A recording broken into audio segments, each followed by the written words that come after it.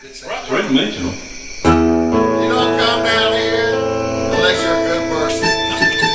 I know that. Because I've known that boy right there and that boy right there for since 1979.